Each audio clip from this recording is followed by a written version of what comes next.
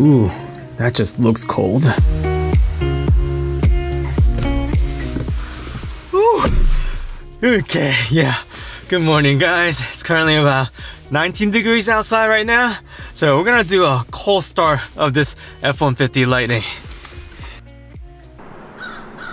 Sounds so silent yeah so vehicle is reading 21 degrees and i did make a record of the battery level last night it was at 47%. So let's see. Yeah, currently still at 47%. So that's good. However, I want to find out this. So currently the power level that's available for this vehicle, because it's so cold, it's at 81%. But what's important is that that level right there is not gonna get to 100% all day if I just drive it normally. So I did test this yesterday. So yesterday was like 32 degrees and I drove it pretty much all day and it never got to 100% until I actually plugged in to charge. Also, I find it interesting that this battery temperature right here, it's still in the middle, which is like nominal level, even though it's like 19 degrees outside. So I want to go down to the gym and I want to see what kind of mileage I get on this vehicle. Alright guys, so it's been a few days since I went to the gym, so I was able to gather my thoughts and document this a little bit better for you guys. So before I show you the range I got, I want to give you a little bit more context. So this vehicle right here is the F-150 Lightning standard range battery, which has 98 kilowatt hours. And I live in a townhouse where I cannot charge overnight. That's why I was kind of like surprised to see my battery at like the mid-level temperature.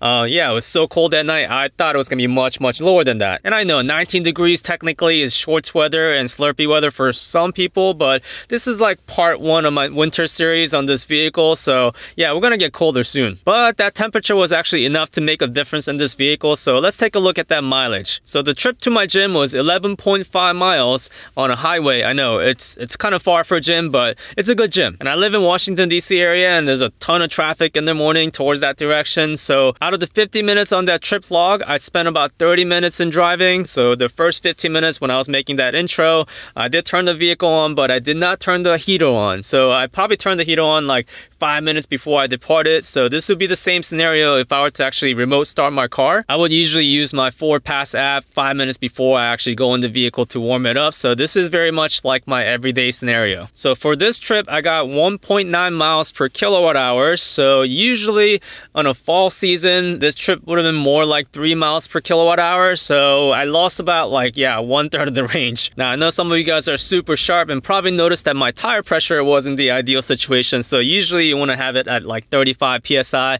but I definitely did below that. Believe it or not, it was like 70 degrees not too long ago. But you can clearly see like where the energy went. So 31% of the energy spent went straight to the heater. And of course, 12% of the energy spent was impacted by the actual temperature, and only half the energy spent went to the motors. Now, we all know that EVs lose significant amount of range in the winter, but I want to give you a perspective from what happens if you don't plug in at night and then just start driving right away. Now, a lot of you guys probably already have a charger or a plug in your driveway or your garage, but this still can be a real life scenario because if you guys go to an airport and park it, you know, for several days and you come back in a cold weather, this can be one. Like this coming Christmas, if you go visit like your family up north and then you have to park it outside for a while, yeah, this is gonna be the scenario. But here's the part a lot of people don't talk about, and that is how much available power is lost during the winter time. So we mentioned this vehicle is a standard range battery, which has 452 horsepower. I keep wanting to say 426 because that was the number that was announced like when they launched the vehicle, and then right before production, they increased it, right? So remember that 81%? Let's ask,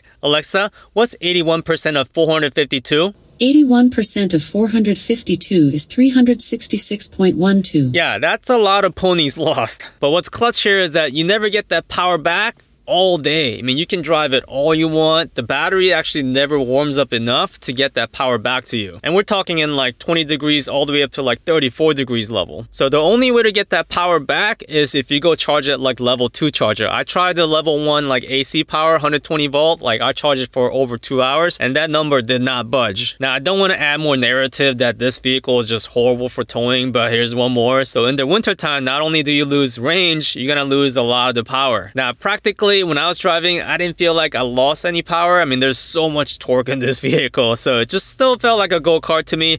The only loss I probably have is when I have a friend in my vehicle who says like, I've never been an EV before.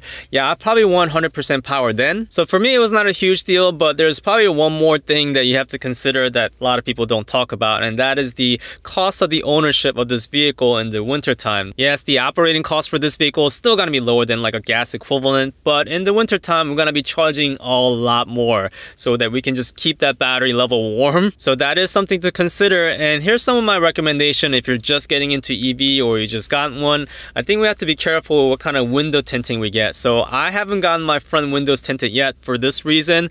Uh, so if you're getting window tinted, watch out for those like 99% blockage in infrared because I think the sunlight coming in in the winter is helping a lot. So I am interested in knowing how the battery is going to hold up over this winter season if you don't plug it in every single night to charge. So yeah, this is to be a pretty painful winter for me and I'm doing this out of a choice because I want to test it out for you guys. So I'm willing to be that guinea pig who has an F-150 Lightning, who doesn't have a garage nor driveway who can charge. So it's to be interesting winter. So I recommend you subscribe and see what happens. All right guys, thank you so much for watching until then. Till next time, charge on, you know, to keep the battery warm. All right.